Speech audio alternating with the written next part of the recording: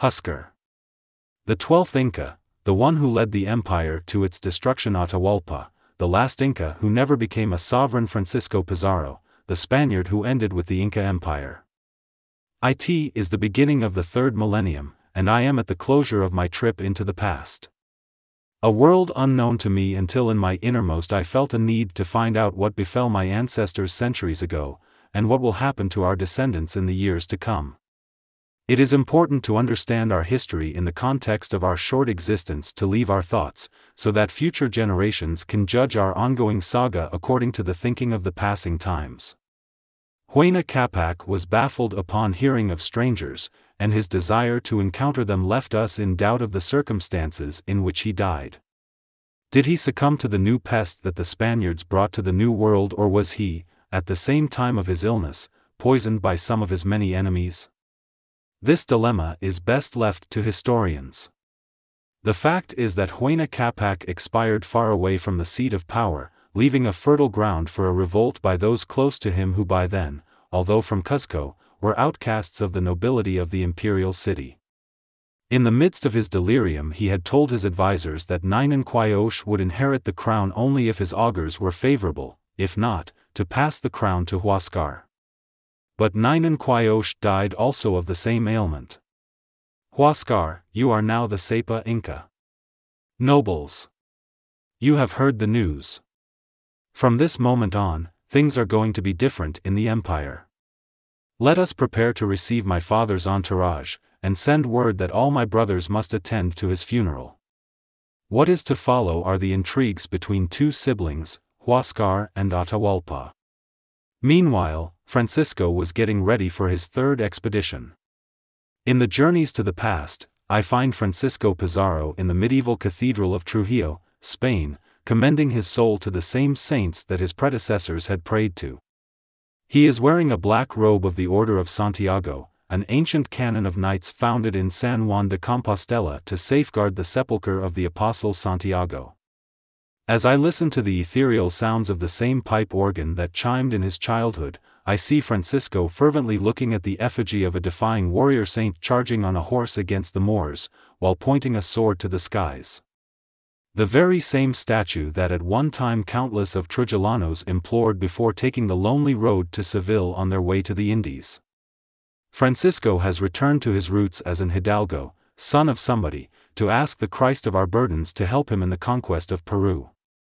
The solemn Mass over, I warily approach him in the manners of our Indian upbringing, the submission to the white conqueror. Don Francisco, I am Condor Soul, a descendant of the Incas. I come from the future to find out who you were and why. I have seen your bones in the Cathedral of Lima, but I want to know about your soul. I hope that you will understand the reasons for this unusual trip to your past. Who are you who wants to identify with that large vulture that I have not yet seen?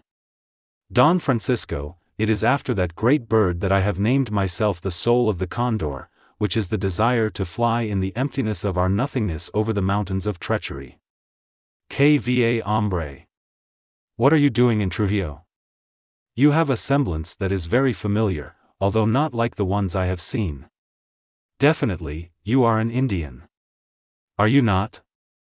Yes, I am. However, in this encounter, I want to be treated as an Inca descendant and not as an Indian. Dot. Damn. I am confronting a man from the future, and not an Indian of the past. Man of the old world, I hope you keep that in mind for the remainder of our encounter.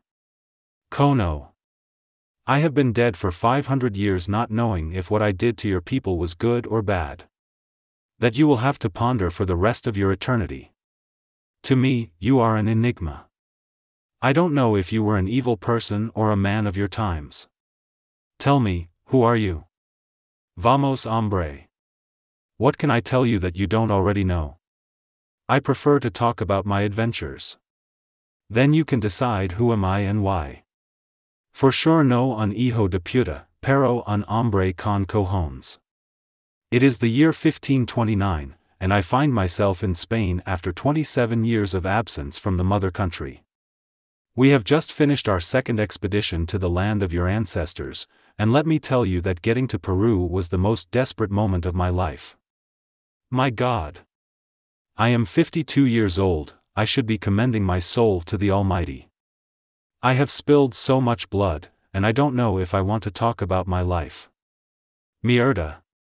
I could have lived comfortably for the rest of my life in Panama. Instead, I squandered all my fortune in this madness of conquering the empire of the Incas. Don Francisco, you knew of the rewards. Otherwise, you would not have proceeded with the venture. Yes. But in the end, I lost everything. No, because you will live forever in the pages of history. Nevertheless, I understand that you were in awe when you had your first glimpse of a great ocean on the other side of the New World. Oh, El Mar del Sur? Yes, the Pacific Ocean. Tell me what was it like the moment when you and Balboa realized that there were more lands to conquer?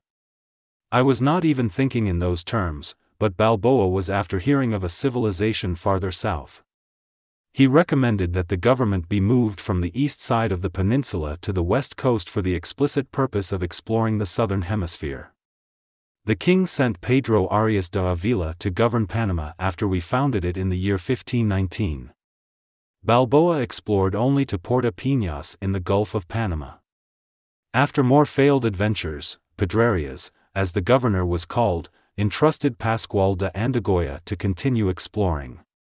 In 1523 he reached the mouth of the river Viru, where he found a tribe under the cacique Biraquite or Paraquite, hence the lands to the south were called Peru. There, he heard more news of a rich empire. Andagoya fell ill, and he had to return to Panama. Those unfinished expeditions and the knowledge of rich lands waiting to be conquered prevented me from dying in oblivion, like the rest of those who had come to the New World to be rich.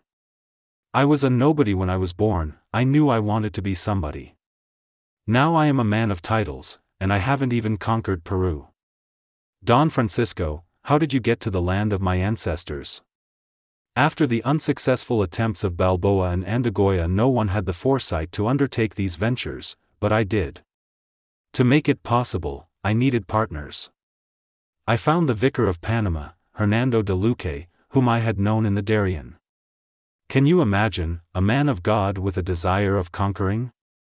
And why they called him, Hernando el Loco. He had money or connections to people who had. Then I recruited another ambitious man, Diego de Almagro, to be in charge of finding, equipping, and supplying the vessels needed for the expedition. How about you, Don Francisco? Were you that immaculate? What were you going to do? I am not free of human faults, and I don't hide them either. In my case, I became the sole captain. Once the partnership was formed, Almagro began to look for a boat in the steamy coast of Panama. He saw Balboa's original craft that was rotting, and waiting for someone to revive its truncated glory. Ten months later, the embarkation was put in shipshape to navigate as the Santiago. Meanwhile, we were able to cajole 114 soldiers, if we want to call them that, because most of them were fugitives of the law. With inexperienced men, meager supplies, and four horses, we left on our first expedition on November 14, 1524, but not before receiving the blessings of the Almighty.